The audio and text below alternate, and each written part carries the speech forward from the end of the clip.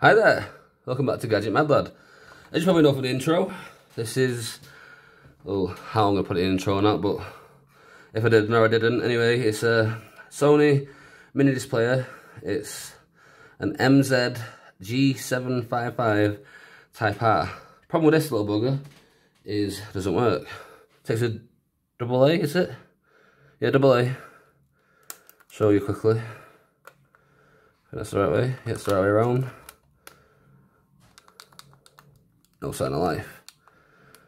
I mean, you could got one yourself at home that's having exactly the same problem, but the thing is, I watched this, uh, say it's right, Chris, SJM4306, I think that's the guy.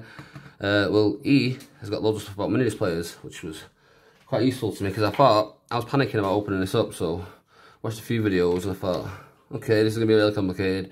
He did it, and it's really easy, literally so easy well not for the entirety of it but for the bit I, I want to do it is at least. So there's one two three four Phillips screws on the main body itself. They're the four that we, we need to remove. I'm hoping this is going to be a really quick fix and it's going to be like something as simple as just getting the battery terminals are clean and jobs are good and I've got a fully working mini player. only thing I need to get now is some mini disc to try with. But there's no sign of life at the moment so if I get Sign of Life, I consider this a win. And it'll just be a quick one, obviously. And just a quick thing, as I'll go for it in a minute. Because I have to gather a little bit when I, all the um, cleaning things drying. Because obviously, don't want you getting bored listening to me. Or watching me even. I don't mind need to do that, let's pull off. Except from this side, that'll pry it maybe. So, We've got liftage. Is it going to come off? Something's happening. Oh. There we go. Did we go? Hmm. I'm confused. I don't think it's meant to do that. I may have done something wrong. So let's try prying it from this side maybe. Aha. Right, right, right, right. Yes, there we go. Oh my god. That's gross. Uh, I was hoping that electric toothbrush and some nail varnish remover would do the trick, but now I'm thinking maybe not. I wanted to get this as one of the five minute fixes that I did, but I've seen some damage up here, so I'm thinking maybe the board might have to come out. But we'll, we'll try anyway. So I've got the four screws there. So, uh, don't roll off you a toothbrush, nail varnish remover. I'll get this done pronto. Just put a little bit into that, the lid. Dunk this in, is what I used to clean my electronics with. This is my IPA really, which is on my list to buy. A bit of wire there from another project. Put to the side, don't let that get stuck in anything. Let's start that off camera. Little flick of there. A little clean. Lot of nasty brown stuff off there.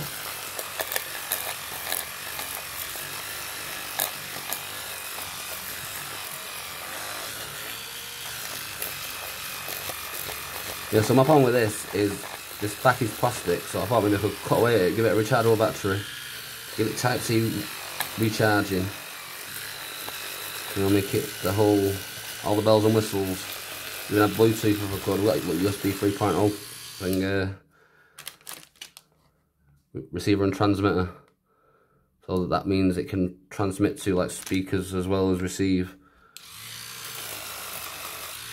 Got that for a, a, a macro video that I'm planning to do soon. Oh crap, don't go everywhere.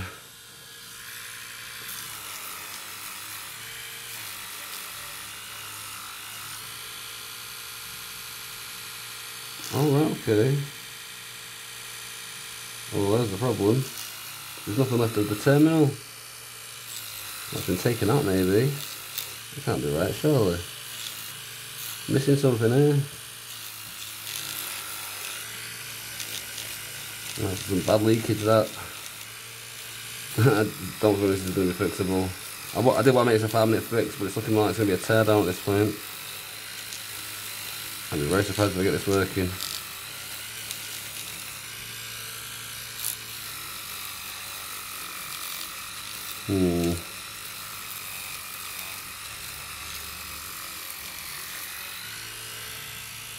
Doesn't seem to be cutting it, does it? Plus there's nothing there for it to... Is that metal?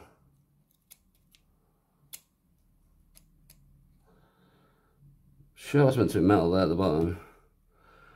The battery terminal... The battery goes in positive way up. So it's like that kind of thing, get me? So the ground will touch there and the positive will touch there, but don't see where it, how it connects to the board. Literally, maybe that pin there. Well, that's not going to be for the thing, that'll be for the positive. So uh, how do I do this? I'm going to get you up. Oh crap, I didn't want tearing it just down, but so I haven't got an option. So here we go. So that goes forward. Hopefully I broke that off because that'd be bad. That come out now? Yeah, myself. Can I not lift that up? Is that it? Is that allowed? Oh, yeah, yeah. So if I disconnect this one here, I think should be able to remove the board totally at this point. I'm just assuming here, I have no knowledge regards to this stuff, obviously. As you can probably clearly tell by my inability to diagnose what's wrong with it. Yeah, so the, something's broke off there. There's meant to be something at the bottom. Is that going to be fixable? Can you see the corrosion? That's quite bad, isn't it? This is... I know it's closed on it, I think. Right, so Oh, that'll be a nightmare to get re back in there, innit? Hmm. I'm soldering iron at the moment, so I can't do that. So it's just looking like this is going to be basic teardown then, so I'll get back to this when I can. I think there's meant to be metal there. It's meant to connect here. This little rusty thing sticking out, you can see it. See if I get shot. Focus. Focus. That's terrible. There we go. Gonna got a shot now. Right, well, this little bar thing here, let me right between my fingertip. See the gold bit, well that's part of it. It's meant to connect to the bottom of this thing here. And it's meant to go into that side there, and that's meant to have a terminal for the ground. So, this is only going to be fixable if I do my mod to it. Hmm, intriguing. Right, so, adding a Type-C rechargeable battery to this little bugger eventually. That's the only way I can really take it from here. So that it'll that's what it'll be. I'll add a battery first and see if I can actually one do that. I'll solder a battery directly to it, so is that is that that's suppose? uh, could we do that now? Let's if I can get some solder on a battery, we'll try a battery. See if we get Sound Life in it. Because if we get Sound Life in it, it's a point to do revisit. If we can't, there is no point. So, might as well check now, innit? Uh, just need a little bit of wire. Uh, you'll do, I think. No, you won't need too old. Uh, spare wire, scrap wire. I must have some knocking about. Loads of odds and sods there. There we go. Lower jubbly. Right, so I'll do, quickly cut this in half. And with my lighter, I shall quickly do that. Expose a bit of that. I'll attempt to even. I hate when it does that. So get a nice bit of wire exposed. So might as well do the other side as well, mate.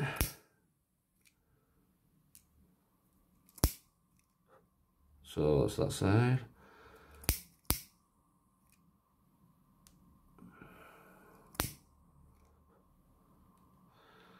Uh, not burning the camera there, that'll be good.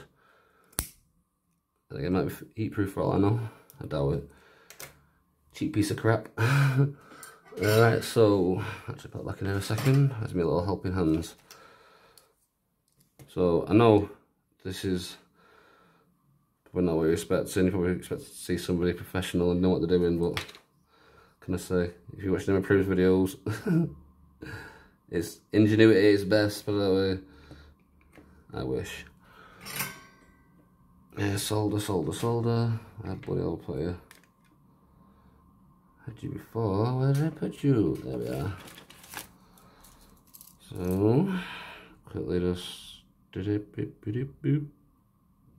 You can go on the battery side, they're all spread out. Hopefully this will work.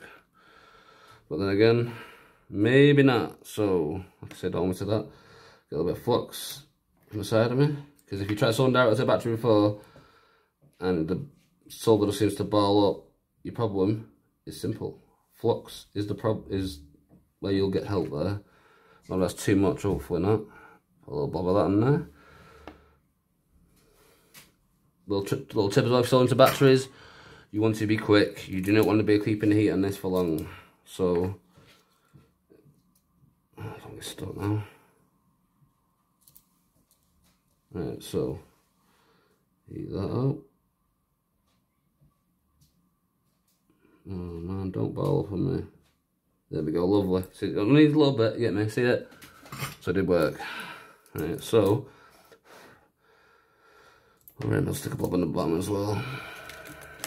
Don't like to put pressure on batteries, but fortunately, not got much of an option at this point. I'm to get you to stay up. So, clever clogs. Stay up on something. Can I keep you up on? I need that for soldering. Uh, yeah, that'll do. Old soldering thing.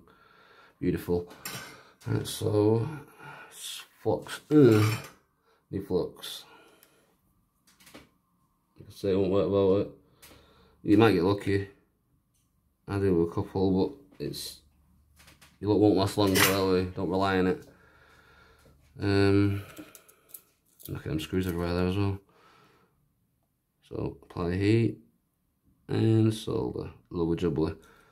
Because I could there, nice blob on it. Alright, so let's go. So we're gonna quickly be sneaky, sneaky. Stay there, you. Just see we'll just be like tinning this one, see if we get it on.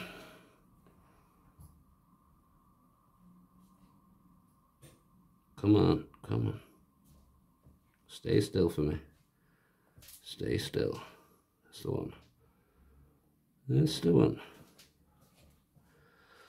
Beautiful. So, yeah, follow, I don't care. Oh crap. Alright, flip it on the way. Another one we've previously tinned. Should just literally tack to it very easily.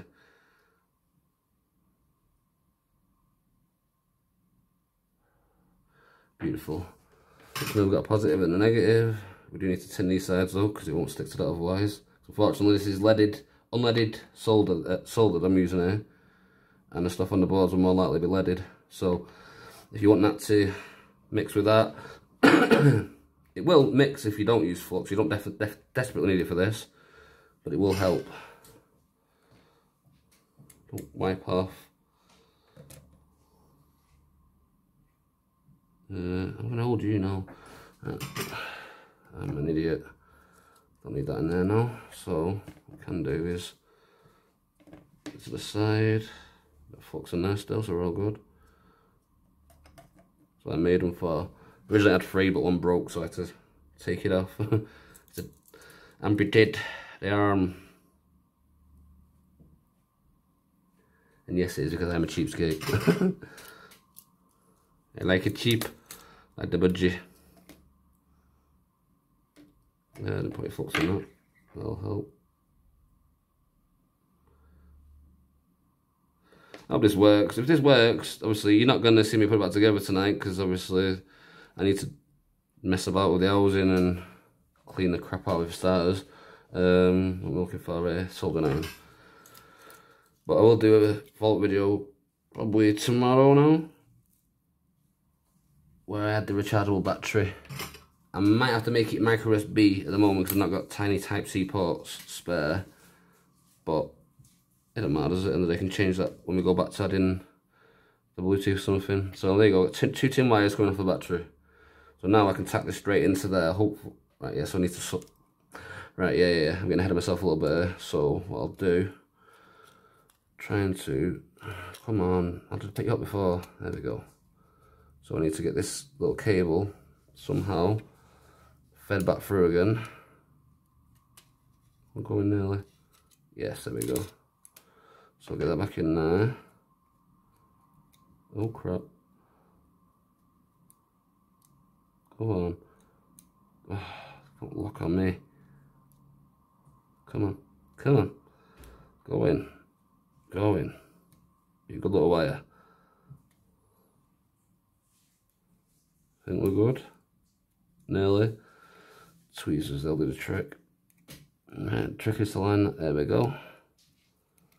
You want that white line lining up with it, I think. That's quite important. If you wonder why I'm doing this, it's because if I don't, it won't show any sign of life on the front, because I'm pretty sure that's how the, either the controls themselves or the exterior buttons in the front. Yes, line door should do the trick.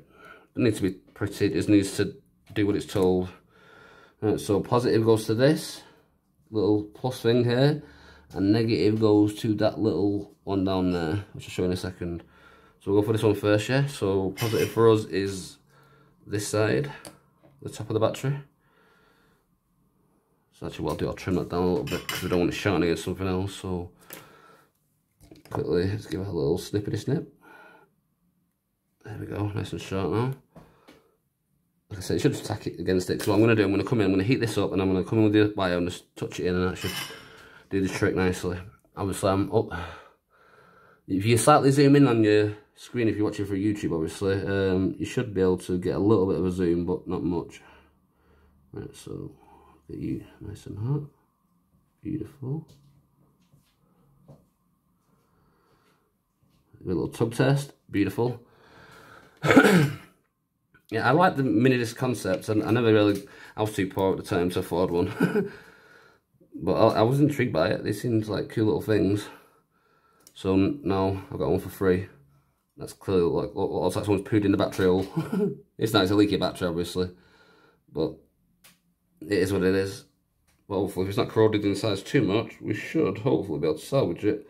And this makes it the perfect candidate for me partially dissecting, shall we say, to make better.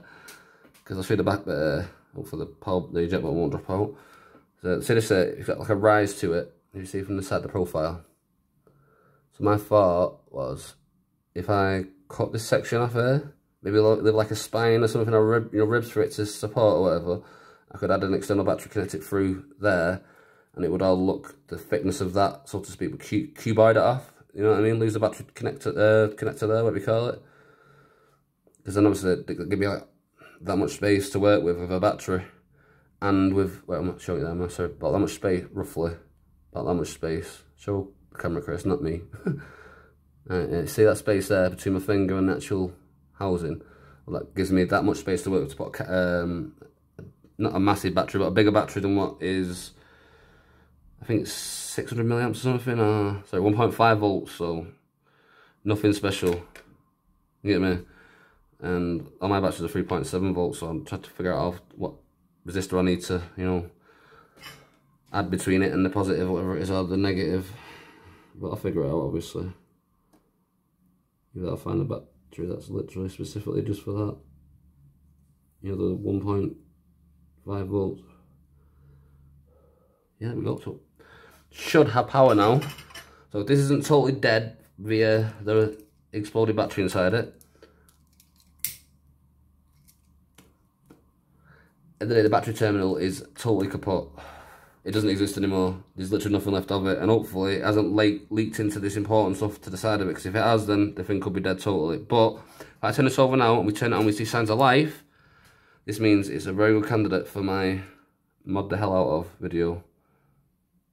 Right, so I've got flux my finger there. So let's see if it does anything. Are you kidding me?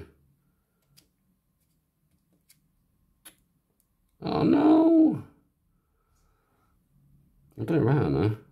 Yeah, so the right sections. So it's not just that, then there's more wrong with it. Oh, bugger. Should we see if we eject, does that do anything? The eject button even work? I would eject it. That maybe? No? That maybe? No? That maybe? No. oh, crap. Isn't touching the ball's not open at all, but so I did it in for a penny in for a pound. I'll see something there that looks maybe dislodged. Oh crap. I'm sorry about that, obviously I thought I was going to get it working. But my little Frankensteinery didn't seem to work I'll do the trick, so I can take it apart and investigate and if I do get it working, like I said we'll do the revisit video where I had the Bluetooth and all that stuff. But now I'm going to detach these. Put it back together and it can go for my parts pile. So, thanks for watching and I shall see you next time. Bye.